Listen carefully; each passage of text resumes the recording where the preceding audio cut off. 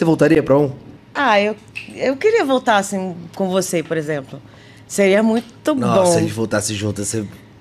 Mas assim, agora eu não tenho a menor condição, É. porque justamente assim, o Joaquim ficou muito destabilizado, assim, sabe? Ele já tá com 11, do, 11 anos, ele já é um idoso, né? Então ele ficou muito dependente e, e eu não faria isso com ele, porque realmente eu vou esperar ele fazer a passagem de boa. E aí, de repente, lá na frente, ele me ensinou muita coisa. Eu tenho.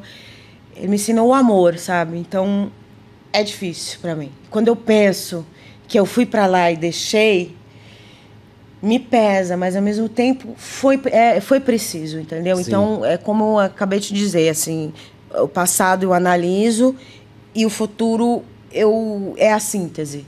Então, vamos dizer assim.